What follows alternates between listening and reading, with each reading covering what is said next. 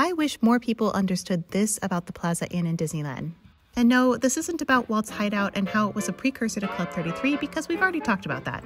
So, to tell the story, we have to go back in time a little bit to when this restaurant was called the Red Wagon Inn, which is, of course, why the corn dog cart is called this. Anyway, Disney bought this mansion in LA and took pieces of it for the Red Wagon Inn, like the stained glass ceiling, some chandeliers, most of the foyer in the front, and of course the front doors.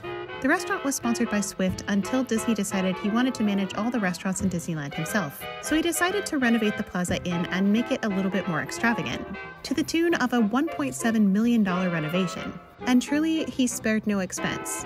He said to Emile Kuri, the average factory worker or truck driver can't afford luxury for himself or his family, so I want you to make the interior really luxurious. Even our prices are going to be cafeteria prices. So the Plaza Inn was Walt's way of making luxury affordable for everyone.